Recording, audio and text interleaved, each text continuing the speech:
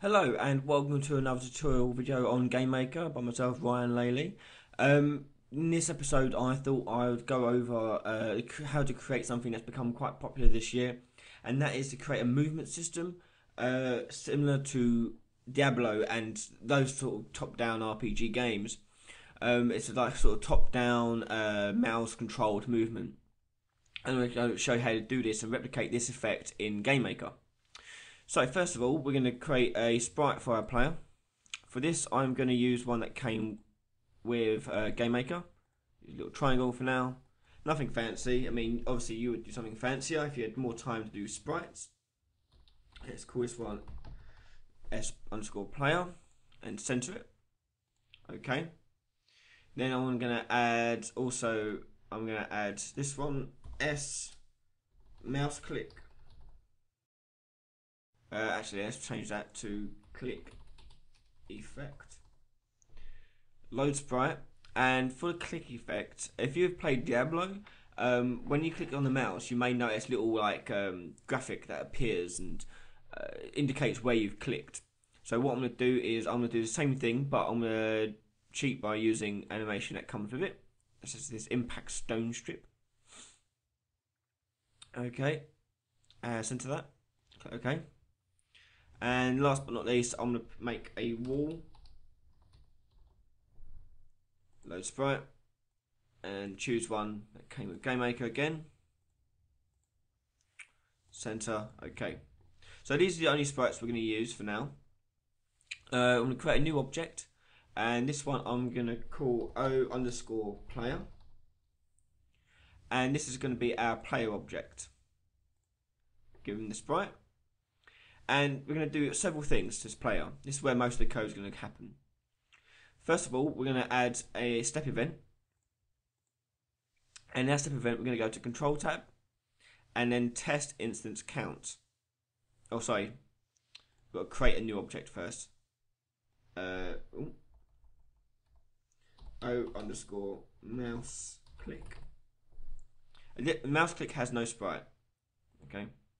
So on player, do again, go to step, control, test instance count, choose our mouse click object, which we just made. That's why I had to go make it quickly.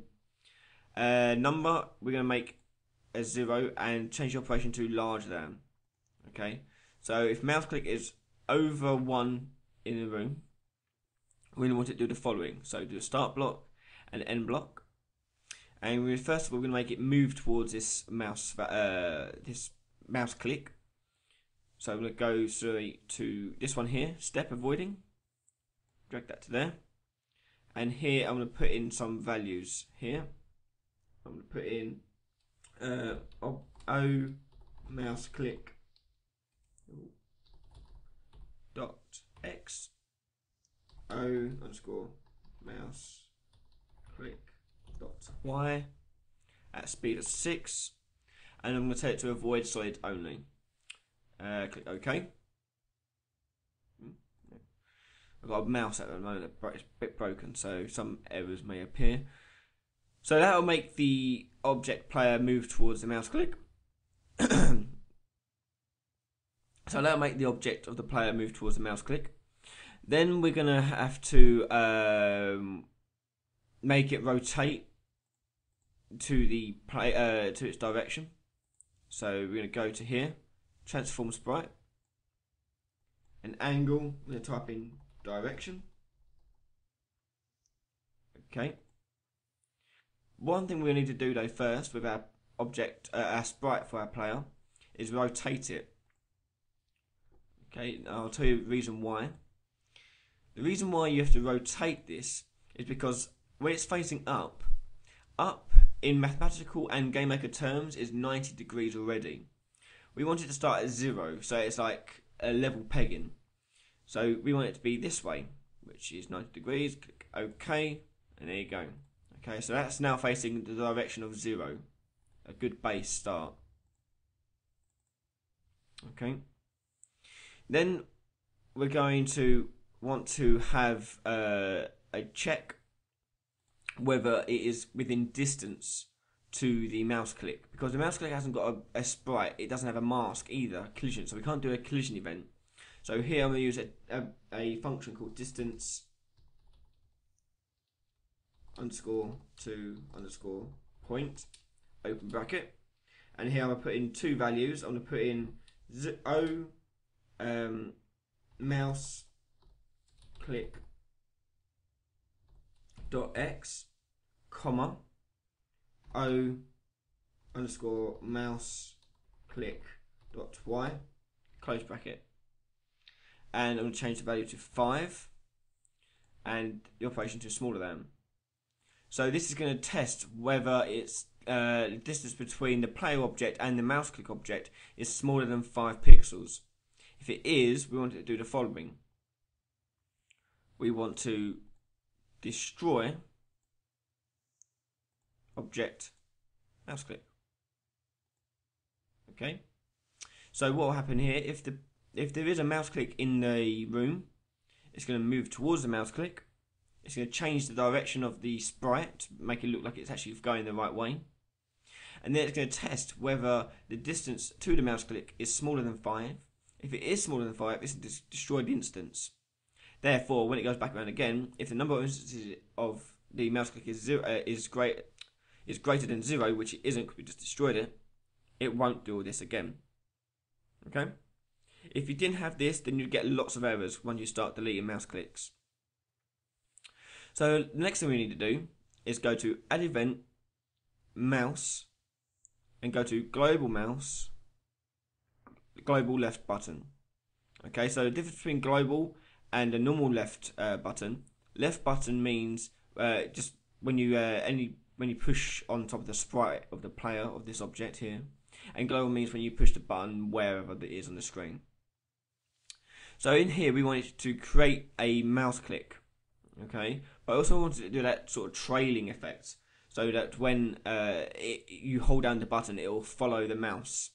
So what we're going to do is start it off the event with an action of destroy instances of the object mouse click okay and that means it will destroy all mouse clicks in the world but then we also wanted to create a mouse click so go to create object mouse click and type in the values um, mouse underscore x mouse underscore y. This means it'll put this object directly underneath the mouse, like the computer's mouse, on the screen. Okay, and that ooh, and that should do it. Now we're going to do the effect. So go to create new object, click effect, O click effect. Here I'm going to create armor, uh, alarm, sorry. And it's only got four sub images, so I'm going to type in four here, so it only goes four steps. And then click OK. Go to alarm zero event. So when it spawns this, it's going to set the alarm. When the alarm goes off, we want it to destroy the instance. So destroy itself. So therefore, therefore it only runs the animation once. Uh, click OK. Go back to our mouse um, sorry, our player object. Global left button.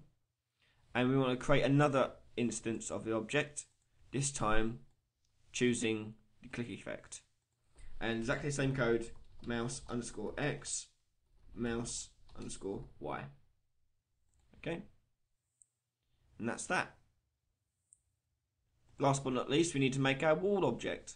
So go to create new object. O wall. Choose the wall. And we just make it solid. Okay, okay. Now we just make a room to put them all in. So let's put in our player object. And then put in some walls.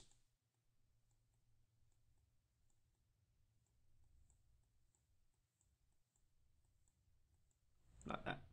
And that's it. You have to put the others in because they get spawned in during the game. Close that and run it.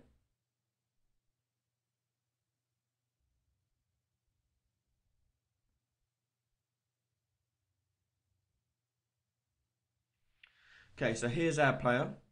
If I click You see the little mouse effect come up? Click again. Well, I can also draw a line for it to follow. Like that.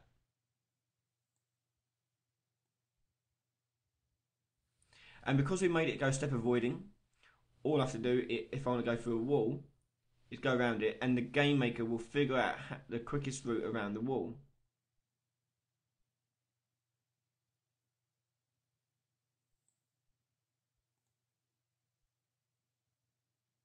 And there you have it. Diablo style movement. So you can do a top down RPG, action RPG. Um, I may go through at some point how to do like a hot bar and how to have like key bindings and how to do uh, some actions to go with these key bindings.